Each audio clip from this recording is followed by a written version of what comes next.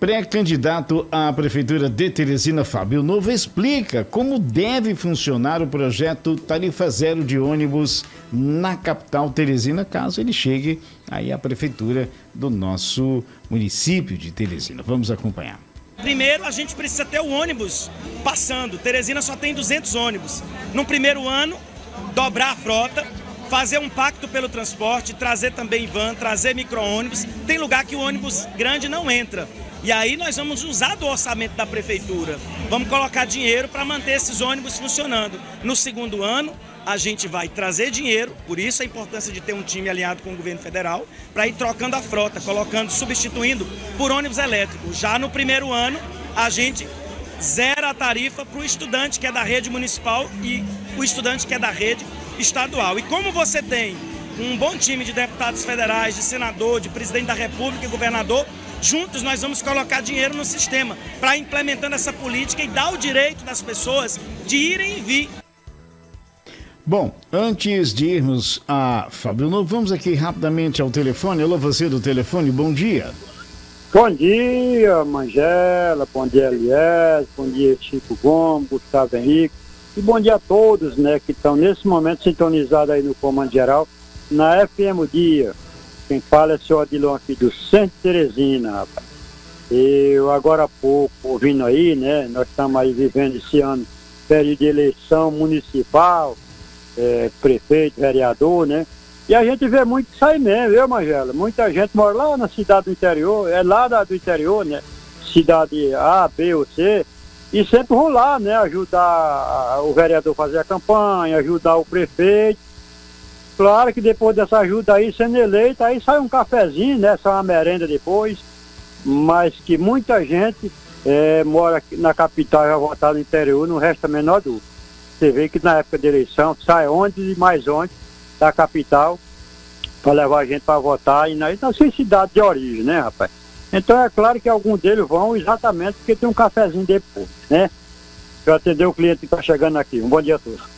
Beleza, senhor Odilon, obrigado pela participação, 2106-9927, aí, senhor Odilon.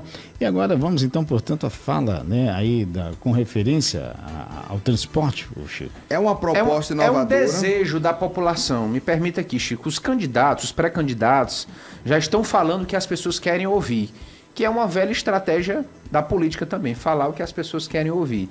Teresina está com esse caos no transporte coletivo.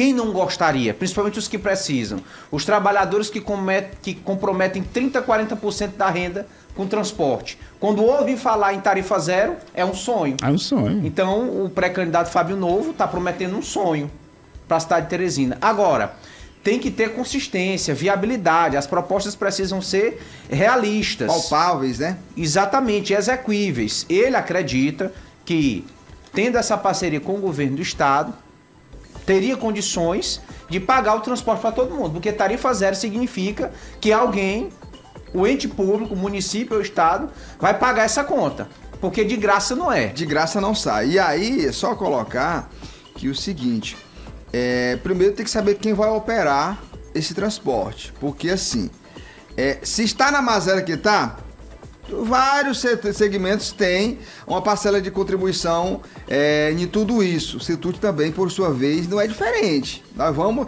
vai se injetar dinheiro público para esses mesmos que ajudaram a fundar o transporte público, operar o transporte, é um ponto a ser observado. Outro ponto a ser observado é que é, o que eu espero, enquanto cidadão, enquanto alguém que faz política também, é que nós possamos é, virar essa página, o Eliezer, de eleger é, poder executivo e legislativo com essa bandeira do transporte, com essa promessa de que vai mudar, de que vai resolver o problema do transporte e na eleição seguinte se é, volta a, a mesma a, a, na mesma tecla e diz ah o transporte vou mudar.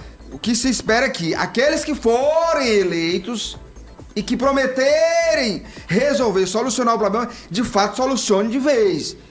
Porque não dá mais para a cada quatro anos usar essa bandeira, usar o sofrimento do é, usuário do transporte público para poder conseguir mandar. Tem gente aí, eu conheço dois vereadores aqui que foram eleitos porque foram pra rua, foram presos, foram é, chicoteados, foram eleitos, nunca mais falaram do transporte. Já migraram, que Nunca fale- mais pegaram um ônibus, Não é mesmo, nem na por engano. Na, na hora que você vai conversar com ele, que você fala em transporte, não, pá, muda de assunto, muda de... Ou seja, que é isso? Que é isso? Quer dizer que vocês, o- é, vocês se apegaram a essa causa, que ela é uma, cau- é uma causa sensível à população, para conseguirem os seus objetivos. Depois de eleitos, deram um, uma nhanhana para o, eleitor, para o usuário do transporte público. Aí é brincadeira.